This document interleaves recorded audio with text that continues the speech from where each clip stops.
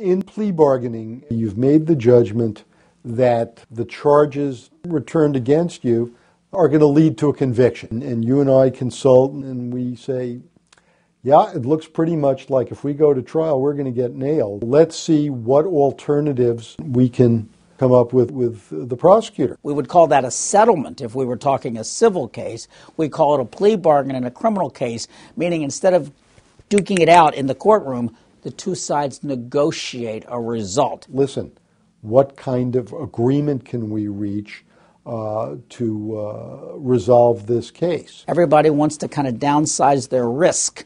No case is 100% locked, and I could, should things go the right way, get an acquittal. It's just like a civil case. You've got so many things you can negotiate for, and both sides are trying to negotiate for the best result. The prosecutor's interest is going to be in A, getting a conviction, B, getting an appropriate sentence.